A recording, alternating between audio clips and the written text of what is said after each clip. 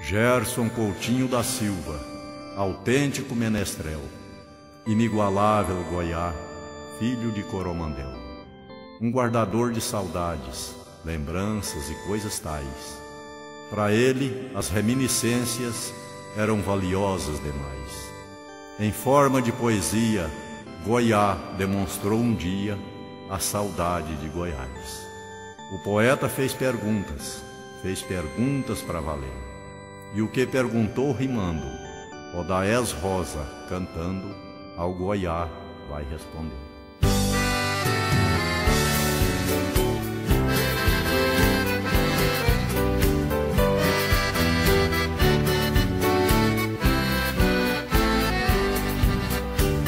Meu grande amigo e meu poeta predileto, o recanto mais secreto da tua alma dolorida.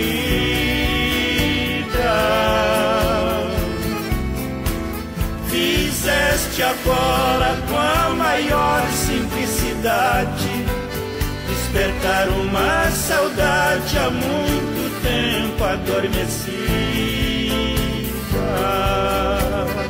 Porque em teus versos carregados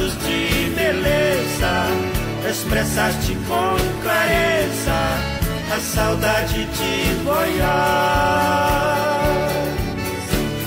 E sei que deves conhecer a realidade para viveres na verdade de saudade nada mais.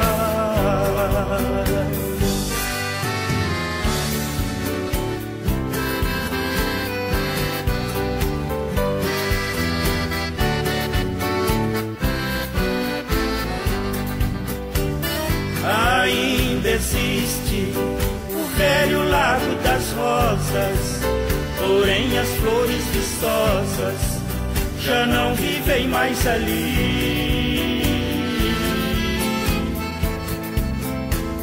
E a linda moça que te deu amor primeiro, te garanto, companheiro, mora bem longe daqui.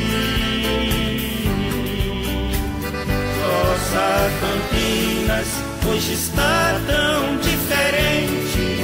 Novas casas, nova gente, novo modo de viver.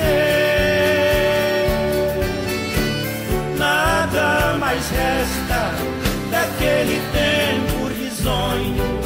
Mas o passado é um sonho que não se pode esquecer.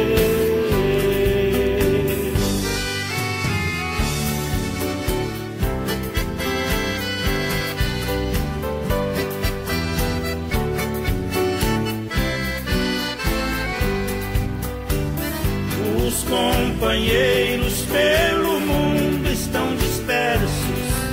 Alguns tiveram sucessos, outros tiveram riqueza.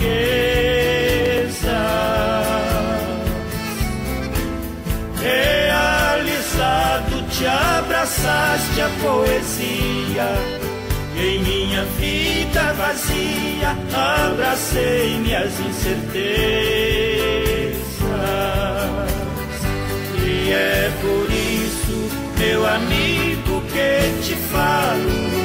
Às vezes também me calo e deixo o pranto rolar.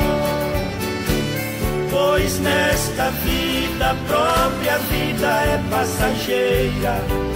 E a saudade é companheira até a vida passar.